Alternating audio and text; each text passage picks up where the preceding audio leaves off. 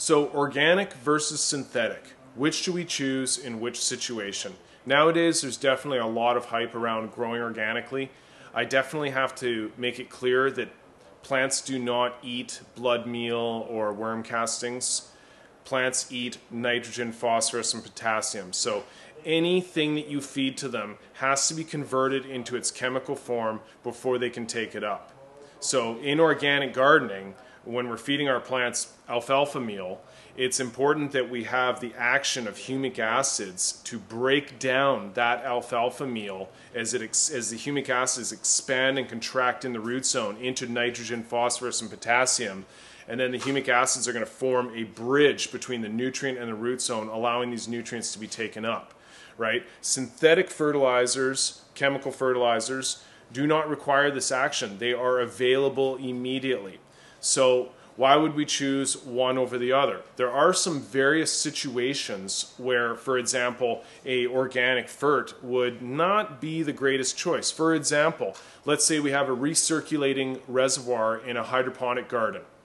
If we take some type of potent fish fertilizer and put it into that reservoir and recirculate it for days, it's going to become incredibly disgusting in which case we would be much better off to stick to synthetic fertilizers and maintain a clean reservoir. In drained waste gardens, like peat based gardens or coco gardens, outdoor gardening in big bags, it's absolutely possible to or garden organically. Uh, what are the advantages?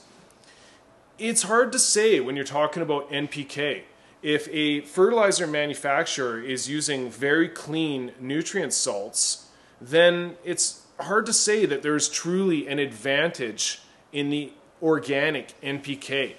Where does the advantage lie in organic gardening? I think it really lies in the things that are beyond the 20 essential elements for plant survival, the things we don't understand.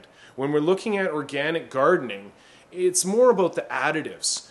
Like uh, microorganisms, mycorrhizae, trichoderma, these different fungi that colonize the root zone, enhancing nutrient uptake and, uh, and root development, uh, uh humic acids, which facilitate nutrient uptake right? Uh, can we use these things with synthetic fertilizers? Absolutely. Sometimes I have scenarios where a client is under the impression that because they're growing organically or because they're using a synthetic fert, they can't put in organic additives. And this is not true. We can have the best of both worlds. We can use a synthetic fert and vermity to increase the nutrient uptake of that synthetic fert, right? We can use and organic nutrient along with synthetic additives and enhancers. We can mix and match if we understand what we're doing and why. So, really, what it comes down to is furthering our education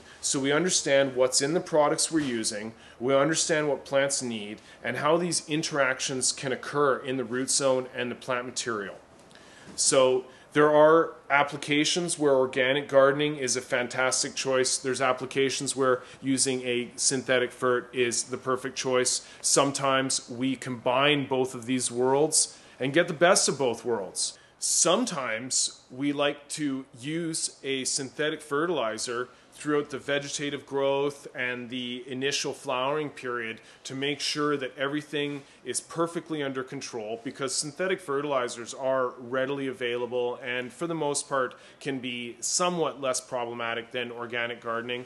And then towards the end of the flowering cycle, we might cut off the synthetic fert and move into straight organic products in an attempt to increase flavors and aromas. That's definitely something that sometimes we can get from organic products is those hidden little subtleties that make something higher quality. Increasing flavors and aromas can be a definite benefit of utilizing organic products towards the end of the flowering period. So it's all about figuring out your plant and what is going to be utilized to produce the best quality material.